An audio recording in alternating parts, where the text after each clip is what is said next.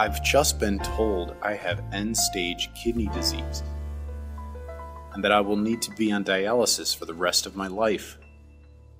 Wait, while dialysis is an excellent treatment for kidney failure, it is not your only option. You can live longer and enjoy a regular lifestyle with a kidney transplant.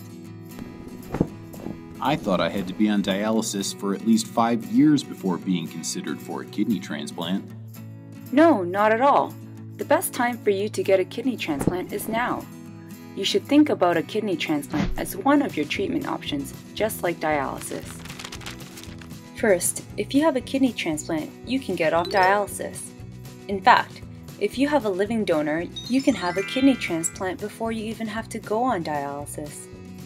And second, the less time you spend on dialysis, the better you will do in the long run. But isn't the waiting time for a kidney donor up to 10 years? That is true if you're waiting for a kidney donated from a person who has passed away, which is why you should consider getting a living donor. A living donor can help you get a transplant sooner, and the surgery can be scheduled whenever you and your donor are ready. A living donor is someone who is willing and able to give you a kidney.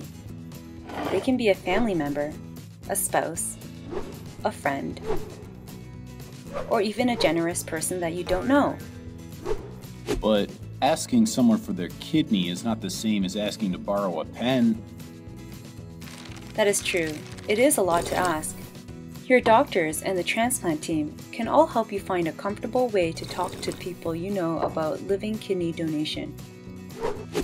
You can even reach out to your community to find a living donor. Hello. After the procedure, your donor should be able to get back to their regular lifestyle in about six weeks.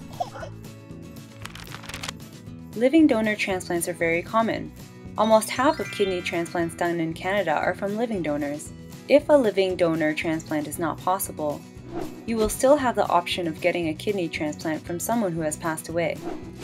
So, if I go ahead with a kidney transplant, what is involved? Like any surgery, a transplant has some risks and you will need to take a few weeks to recover. You will need to take medications so that your body will not reject your new kidney. On the other hand, with your new kidney, you will have a better lifestyle and will likely live longer than if you stayed on dialysis. Your transplant team will talk with you about all these details. You know what? I'm going to talk to my doctor today to see if a kidney transplant is right for me. Hi.